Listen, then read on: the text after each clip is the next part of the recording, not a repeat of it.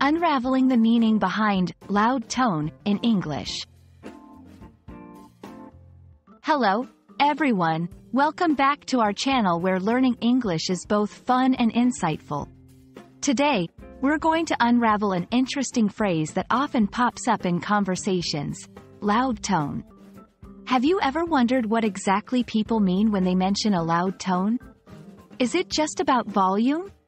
Or is there more to it?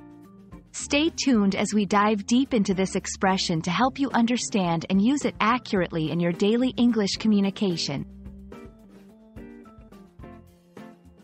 When we say someone is speaking in a loud tone, we're usually referring to two main aspects.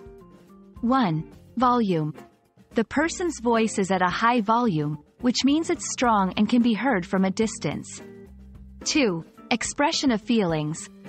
A loud tone can also convey strong emotions like anger, excitement, or urgency. But it's not just about being heard. It's about the intention behind raising one's voice. Is the speaker trying to grab attention, express a strong emotion, or perhaps emphasize a point? These are the nuances we'll explore next. A loud tone can have different implications depending on the context. In a conversation, using a loud tone can imply that someone is passionate or insistent about what they are saying. In a debate or argument, a loud tone might suggest that a person is trying to dominate or assert their position. In an emergency, speaking loudly is often necessary to be heard over noise or to convey the urgency of the situation. It's important to be mindful of the setting because a loud tone can be considered rude or aggressive in a quiet or formal environment. That's why understanding the context is crucial for effective communication. Interestingly, the interpretation of a loud tone can vary widely across different cultures.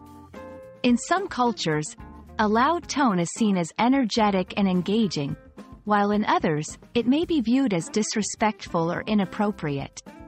Being culturally sensitive to how your loud tone might be received is a key skill in international communication. We hope this video has shed some light on the phrase, loud tone, and its various nuances in the English language. Remember, the way we speak, including our tone, can significantly affect how our message is received. So next time you're in a conversation, pay attention to not just what is being said, but also how it's being said. Thank you for watching, and we hope you now feel more confident in understanding and using the phrase, loud tone. Don't forget to practice, stay curious, and see you in the next video.